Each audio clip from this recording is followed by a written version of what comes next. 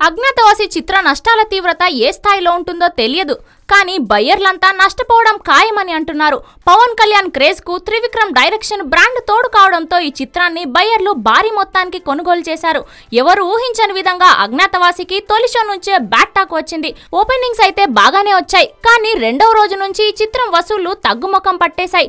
నష్టాల బాట పడుతుండటంతో బయ్యర్లు ఆందోళన చెందుతున్నారు. కాగా సోషల్ మీడియాలో జరుగుతున్న ప్రచారం ప్రకారం పవన్ కళ్యాణ్ తన రెమ్యునేషన్లో కొంత మొత్తాన్ని తిరిగి ఇచ్చేయడానికి సిద్ధపడ్డట్లు తెలుస్తోంది.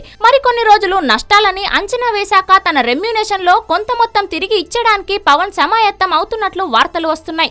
పార్టీ బాగోగులు డబ్బుని పోగు చేసుకుందామనుకున్న పవన్ కళ్యాణ్ తన వల్ల ఎవరూ నష్టపోవద్దని భావించి వారికి అండగా నిలబడుతున్న విషయం తెలుసుకున్న బయర్లు ఆనందం వ్యక్తం చేస్తున్నారు. ఇక ఇలాంటి హీరోకి అభిమాని అయినందుకు అభిమానులు గర్వపడుతున్నారు. సౌత్లో ఇలాంటి పెద్ద మనసు కేవలం రజనీకి మాత్రమే ఉండేది. పైసలకు తృణప్రాయంగా చూసే పవన్ రజనీ లాంటి హీరోలు ఉండడం చిత్రసీమకు గర్వకారణం. గతంలో కూడా పవన్ కళ్యాణ్ తన రెమ్యునేషన్ని వదులుకున్న సందర్భాలు చాలానే ఉన్నాయి.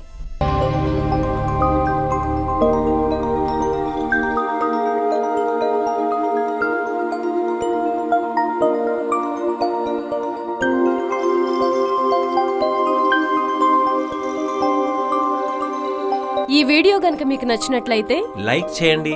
షేర్ చేయండి. అండ్ సబ్స్క్రైబ్ చేయండి.